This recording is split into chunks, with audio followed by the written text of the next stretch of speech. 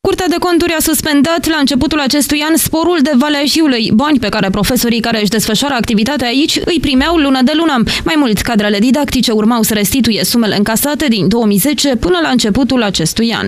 În urma unui raport al Curții de Conturi efectuat uh, pe municipiul uh, Petroșan s-a stabilit că profesorii din uh, municipiile Petroșan, Lupen și Vulcan au primit, a spus Curtea de Conturi, un spor ilegal, acel spor pe care și îl numesc sporul de Valea Jiului, un spor de 30%, care zic eu că era binevenit. Sindicatele din educație au contestat în instanță această decizie a Curții de Conturi, dar din nefericire au pierdut la toate căile de atac și, practic, în momentul de față, hotărârea Curții de Conturi conturi trebuia pusă în aplicare.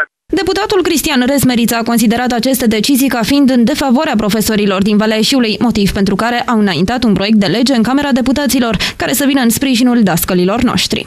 Spre bucuria mea, la Camera Deputaților, uh, în cursul acestei zile, acest proiect a primit un vot uh, favorabil. Uh, practic, profesorii din Petroșalu, Pen și Vulcan au scăpat de plata sumelor uh, pe care le-au încasat sub forma unor uh, sporuri în acești, uh, în ultimii patru ani de zile.